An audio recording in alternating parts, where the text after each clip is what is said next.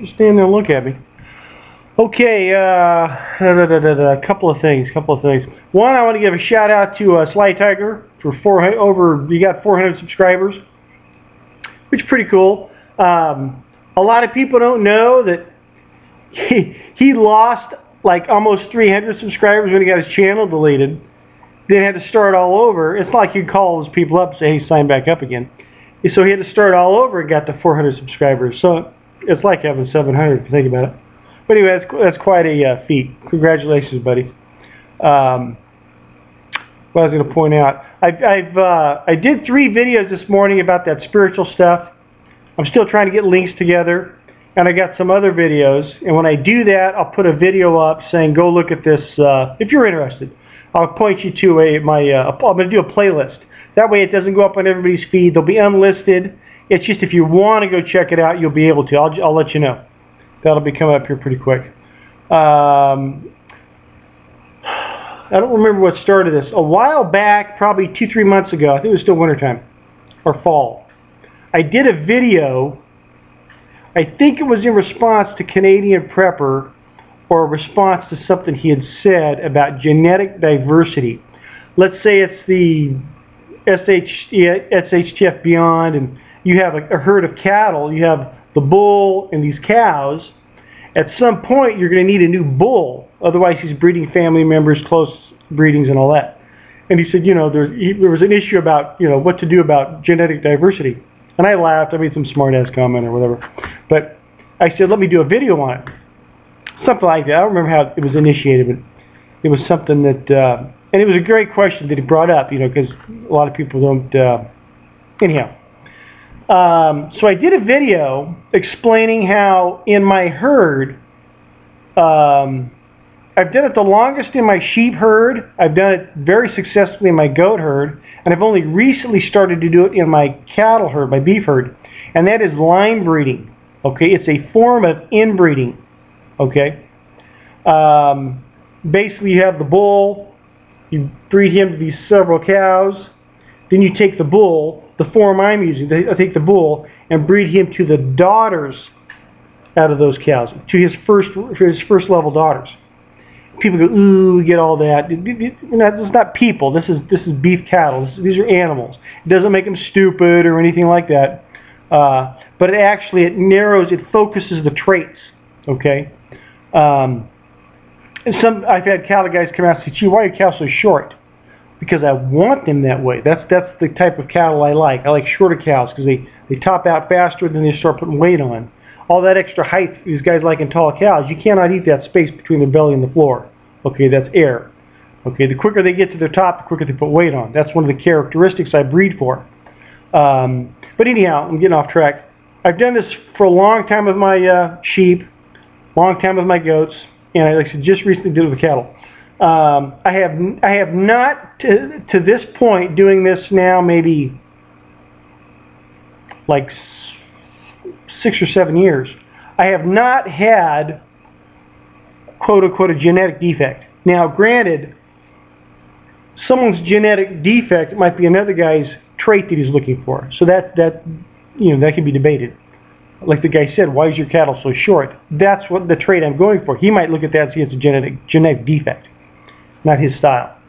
Okay, but they're not walking around with three heads and four legs and I mean, uh, you know, six legs. It's, it's not that kind of thing.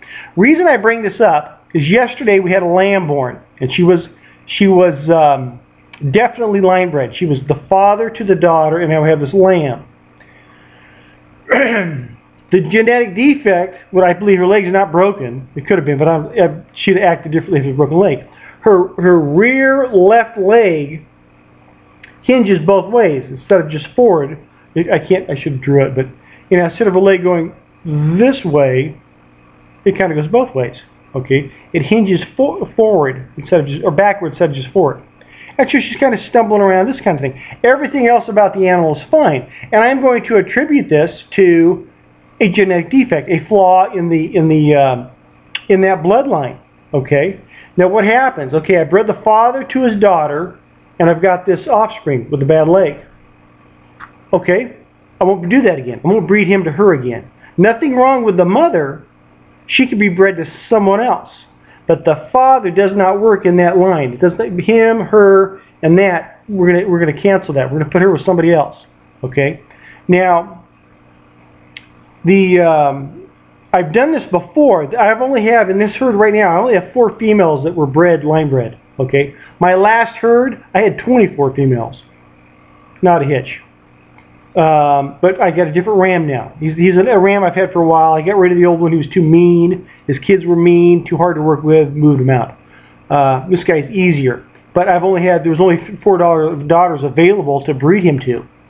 Um, there's one more that's due. The other ones have done fine. Um, as far as the baby with the bad leg, first day kind of stumbling around. Today it's chasing other lambs. What will happen is the muscles and the, I don't know about the tendons so much, but the muscles will compensate to right the animal. And today, you look at it standing there today, you can't notice anything's wrong. Okay? It walks, it depends on which way it's standing. But today it was running. Okay, it's, it's, a, day, it's a day and a half old. Uh, but the leg still hinges both ways. Now, an animal like this, I will not breed this animal. It's a female. More than likely, this would end up in, as, as far as in the, you know, resource into the, go into the freezer. Um, and more likely I won't sell this animal so someone else doesn't have to breed it and find out maybe there's something else wrong there. Um, but I've been very successful with this. This is the first time I've had anything that I could point to and say, okay, that was probably, that's not going to work. So I won't breed that mother like that again. I have another ram I could put her with. But I wanted to point that out. You know, people said, gee, what would happen?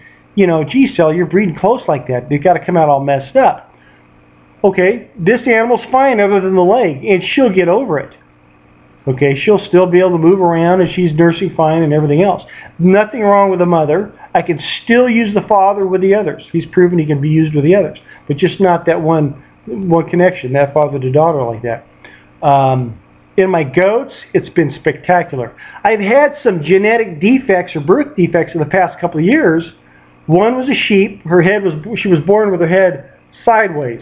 Right side was looking down, left side was looking up. She was that way for like seven months, and then slowly her head just came back around, and like so. She was not line bred. So like you know, she she came of this on her own, whatever the case was. Accidentally, she got knocked up. I wasn't supposed to have her bred for these reasons. She got knocked up. Has thrown the most beautiful lambs ever since. She, she's back in the breeding group. Okay, and, you know, luck. Call it whatever you want. Um, these things happen. I've not had a uh, the, the the lamb that a couple videos back I showed the stillborn or the lamb that we lost to breech, not line bred. It was just big. It was just way big, but it was not a line bred animal, so can't blame the line breeding on that, or vice versa. Um, but just something I wanted to share there. I had my first. Um, I take that back. We've had one. I think the first calf of the year I did the video of that. That one was line bred. Turned out great. Looks just like its mom. It favors its mother's characteristic when I wanted it to favor the father's. So now it's a healthy animal favoring the mother. Eh, I'm not too so keen on that. I may not keep her. I have another one that was born today, um, a, a, beef cow, out of out of a, a line father to daughter, and the calf is beautiful, just beautiful. That's the one I've been waiting on this one. This one, it's kind of scared me because I heard the mother mooing, kept mooing, mooing, mooing. I was out shooting squirrels and dealing with that, and I finally, I got to go see what's going on. Then I remembered she was pregnant, and I went and she'd had the baby, and the bag was wrapped over its head, and the mother was kind of cleaning up the other side of it, but just kept mooing at the animal. I ran out and pulled the bag off his head, and it started sucking air like it was breathing. Some kind of, you know, it may not have made it, but just luck of the draw, I got there at the right time. She might have figured it out, but this thing was a very thick. All the bag had been forward and around his head. It could have suffocated him. Well, we'll never know, but he's alive now. But anyways, line bred, beautiful. Okay, I have maybe two more out there that are be they're line bred. Uh, their offspring will be line bred. We'll see how they turn out. So so far it's been it allows you to keep a female, intensify some of the traits you're looking for, and really there's a lot of benefit in in, in this. The, the negative is I got this little lamb that's got the bum leg that's already more or less recovering. So it's okay, I, I got to change the way that breed situation works out. But I wanted to, to point that out as far as was there any negative, you know, this genetic defect thing with line breeding. Yeah, something like this happens. But for me, it's been very rare. And I just wanted to point that out as far as, um, I might find the link to the video I did on the genetic diversity, I think it was called. But um, Hey, I just want to throw that out there today. I'm trying to, I try to show the good and the bad in the livestock, especially if I make a mistake or something. I like to share that because people can learn from it. Um, but I think that's all I was going to say. But um, but so far, like I said, I still line breed where I can. I did far fewer this year because we sold that last batch of sheep that were all involved in that. They were just too ornery. And um, so there's fewer to line breed. Otherwise, I would have line bred another 25, 30 of them. As I said, it's been very successful for me. All my goats, for the most part, are line bred, either father to daughter, where I will take the, uh, you've got your, your, um, your base group of females, your line one, and the father breeds the daughters out of those. Or we'll take a, um, one of his sons and breed it to your base females, and then whatever daughters coming out of that, you breed the father to that. And so far, it's really, really been, I get the animals I'm wanting. They're starting to look the way I want them. So anyhow, you, there's there's some literature out there on. There's some guys that still line breed. It's just not as popular as it used to be because you can just you can cross out cross all the time. But anyhow, it's another story. Anyhow, I love you.